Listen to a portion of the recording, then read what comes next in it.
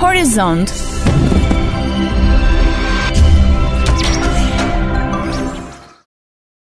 Interneti është bërë pjesë e pandashme e jetës sonë. Ka ndryshuar jo vetëm mënyrën e të jetuarit, por dhe mënyrën e të punuarit. E në këto kushte, profesione të reja po shfaqen në horizontin e punës, duke sjellë një valë të mundësive dhe sfidave për individët e sotëm. Ndryshimet teknologjike, zhvillimi ekonomik dhe kërkesat e reja të tregut kanë hapur rrugën për profesione inovative dhe tërheqëse që dikur nuk ekzistonin, siç janë shfrytëzimi i internetit për të hapur biznese online, nga të cilat fitojnë pa diskutim të ardhura të mira. Pandemia bëri që të rritet numri i bizneseve që operojnë online dhe me sa duket u kthye në një formë të re të të bërit biznes, të favorizuar nga ndryshimet teknologjike, evoluimi i tregut dhe kërkesat e reja të shoqërisë.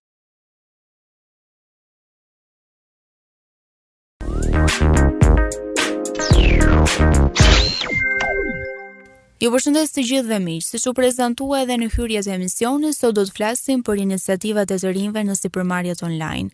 Dhe unë jam në studio me një vajzë të re, Kamela Kodra, me profesion infermiere, teksa gjithashtu edhe me një angazhim tjetër, një sipërmarrje online, ku do të jemi të përqendruar edhe gjatë intervistës në studio.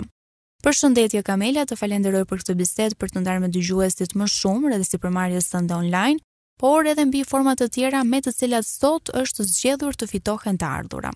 Përshëndetje të gjithëve, faleminderit juve për ftesën. Doja të përshëndesja gjithashtu dhe klientët e mi në Momente Surprize dhe ndjekësit e mi.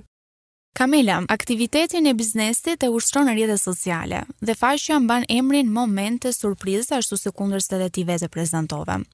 Por pak më tepër duam të dimë rreth kësaj iniciative tënden online, çfarë të shtyu ose si lindi ideja?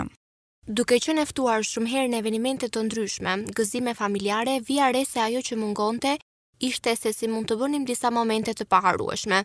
Një rast konkret ishte kur dikush sjell një dhuratë nga një i afërm, i cili ndodhet larg, dhe ky moment nuk shkrepet në një foto apo regjistrohet në një video.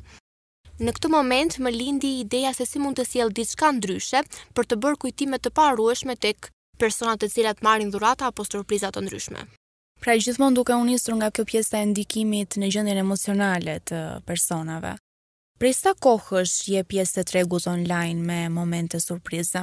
Tashmë po bën dy vjet që jam pjesë e tregut online, jo vetëm me momente surprize, por mhm. gjithashtu edhe me përgatitjen e dekoreve të eventeve të ndryshme.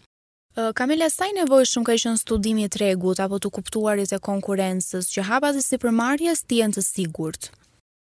Studimi online është shumë i rëndësishëm. Duhet të shohim sa është interesuar tregu dhe çfarë sjellin sipërmarrjet rreth kësaj kërkese të tregut, ose çfarë ne mund të sjellim ndryshe që të kemi hapa të sigurt rreth kësaj sipërmarrje. Pra të jemi inovatorë në këtë kuptim. Po. Ndërkohë, cilat janë disa nga strategjitë dhe mjetet që të rinjtë mund të përdorin për të zhvilluar dhe promovuar sipërmarrjet e tyre online, ose vetë kjo mënyra ose rruga e të operuarit pikërisht online, forma e marketingut, si ndikon? Strategjia më e mirë që mund të përmendim është reklamimi, për të rritur si sipërmarrje, gjithashtu edhe përmendja e personave që janë pjesë e surprizave, gjithashtu deri tek shpërndarja tek miqtë e tyre, janë gjithashtu jo vetëm në favor të sipërmarrësve, por dhe të mirat që sot na sjell bota online. Mm -hmm. Marrëdhënia online me klientët, do doja të dija më tepër si krijohen lidhjet, mbajtja e kontakteve, komunikimi në vazhdimësi, sepse klienti është ai që është përfituesi direkt, le të themi, i shërbimeve, kështu që detyrimisht lind edhe nevoja për të plotësuar të gjitha kërkesat që klienti shfaq ndaj ndaj jush si si si sipërmarrje në rastin e organizimit të surprizave për evente të veçanta. Si vendoset kjo marrëdhënie mes jush? Fillimisht klientët na kontaktojnë duke na parë normalisht në rrjetet sociale Instagram, Facebook apo TikTok. duke na pyetur se si funksionojnë surprizat dhe këtu do doja të cekja diçka që kemi bërë ndryshe nga bizneset online të tjera.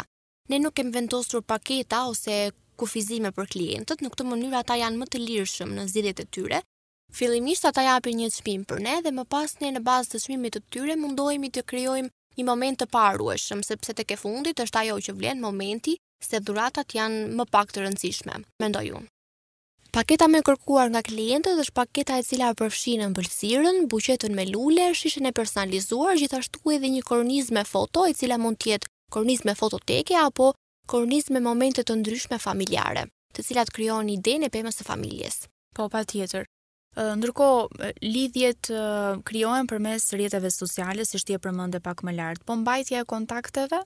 është në vazhdimësi gjatë kohës, për shembull, juve si staf merreni me aktivitete të tjera ndërkohë që u ktheni përgjigje klientëve në çdo orar le, si funksionon kjo? Po patjetër, pavarësisht ne mund të jemi duke shpërndarë, domethënë porosi surpriza, siç mund t'i quajmë ndryshe, ne gjatë gjithë kohës duhet të jemi në gatishmëri për të kthyer përgjigje për klientët tanë, sepse ata mund të duan Një surprizë qoftë edhe brenda dy orësh. Dhe kjo merr kohën e saj. Për të për të patur kohë sa më shumë dhe për të fituar kohë dhe me veten tonë, por dhe me klientët, ne qëndrojmë gjatë gjithë kohës në linjë dhe në kontakt të vazhdueshëm për t'u përgjigjur në çdo moment që klienti na kërkon. Mm -hmm.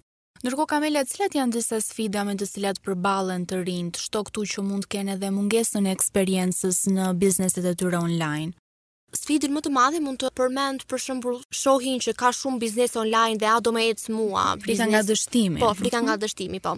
A mund të më ecë dhe mua biznesi im online në qoftë se ka kaq shumë në treg? por do shtoja këtu që në qoftë se nuk mungon dëshira dhe vullneti gjithashtu të rinjtë duhet të jenë shumë kreativë dhe shumë me ide të qarta, nuk mund të dështojnë sepse secili ka ide dhe strategjitë e veta. Sa e përkushtimit, që ndryshon nga njëri individ tek tjetri. Po, edhe kjo është shumë e rëndësishme sepse jo të gjithë kanë ide të njëjta dhe idetë e reja janë gjithmonë ato që hyjnë në treg dhe tregu i pëlqen, edhe pse faqja juaj mund të jetë hapur pas një sërë faqesh të tjera. Kamela cilat janë disa nga përfitimet dhe mundësitë që ofrohen për të rinjtë që angazhohen në sipërmarrjet online? Përfitimet normalisht që janë, domethënë përfitime financiare ka normalisht që ka sepse do gënjeja në qoftë se do thoja që unë e bëj këtë punë thjesht për t'u ndjerë unë e kënaqur me veten time dhe me punën time ose për të kënaqur klientët. Përfitime financiare ka të shumta, por mundësitë që ofrojnë janë ato janë më të rëndësishme, sepse me me bizneset ose sipërmarrje të tilla online ti ke mundësi të njohësh vende të reja, njerëz të rinj, të zgjerosh rrjetin tënd shoqëror apo të krijosh ide dhe mundësi të, të reja dhe për të rinj që duan të hyjnë në botën e biznesit online.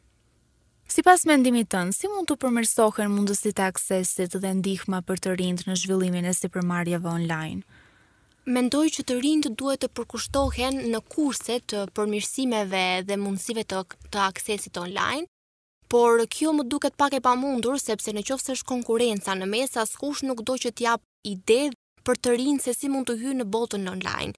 Mund të përmendim disa pika se si ata mund të kenë sukses në sipërmarrjet e tyre, por më duket pak e vështirë sepse për të krijuar mundësi duhet që dikush të ulet në një tavolinë, disa persona të paktën ata që duan të nisin biznesin e tyre online, të reja po them dhe të ndajnë eksperiencat e tyre doja të thoja. Në këtë mënyrë ata mund të kenë ide dhe disa hapa startus për bizneset e tyre online. Mm -hmm.